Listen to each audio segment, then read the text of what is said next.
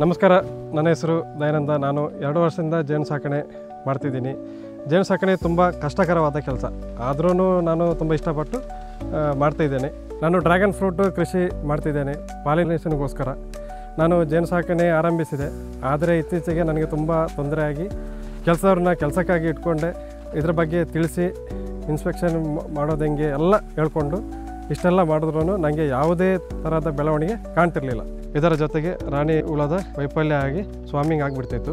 ಮತ್ತು ಈ ಕೀಟಗಳು ಕೂಡ ದೊಡ್ಡ ತಲೆನೋವಾಗಿಬಿಡ್ತಿತ್ತು ಮೊದಲನೇದಾಗಿ ನಾನು ಬಿ ಪ್ರಸಾದ್ ಅವ್ರನ್ನ ಭೇಟಿಯಾಗಿ ನನ್ನ ಸಮಸ್ಯೆಗಳನ್ನೆಲ್ಲ ಹೇಳಿದೆ.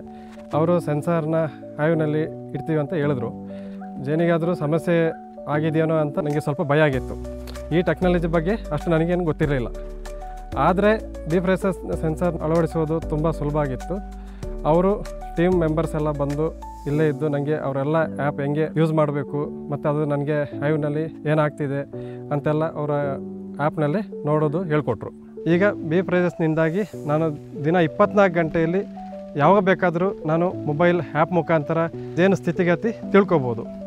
ಅದು ಅಲ್ಲದೆ ಈ ಆ್ಯಪ್ ಯಾವಾಗ ಏನು ಮಾಡಬೇಕು ಅಂತ ಕರೆಕ್ಟ್ ಟೈಮ್ಗೆ ಸಜೆಷನ್ ಕೊಡುತ್ತೆ ಈ ತಂತ್ರಜ್ಞಾನದ ಮುಖಾಂತರ ರಾಣಿ ಜೇನಿನ ವಿಫಲ ಕೀಟಗಳ ಸಮಸ್ಯೆ ಎಲ್ಲನೂ ಕೂಡ ಮುಂಚೆನೇ ಗೆಸ್ ಮಾಡಿ ಹೇಳುತ್ತೆ.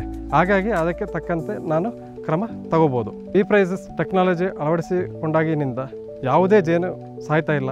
ಇದರಿಂದಾಗಿ ನನಗೆ ಜೇನು ಉತ್ಪಾದನೆ ಕೂಡ ಚೆನ್ನಾಗಿ ಆಗ್ತಾ ಇದೆ. ಯಾವುದೇ ತಲೆನೋವಿಲ್ಲ ಟೆನ್ಷನ್ ಇಲ್ಲದೆ ಆರಾಮಾಗಿರ್ಬೋದು. ಬಿ ಪ್ರೈಸಸ್ನವರು ನನಗೆ ಇನ್ನೂ ಸ್ವಲ್ಪ ಸೆನ್ಸರ್ನ ಕೊಟ್ಟರೆ ನನ್ನ ಮಿಕ್ಕಿದ ಜೇನು ಪೆಟ್ಟಿಗೆಯಲ್ಲೂ ಕೂಡ ಇನ್ಸ್ಟಾಲ್ ಮಾಡ್ಕೊಳ್ತೀನಿ ನಾನು.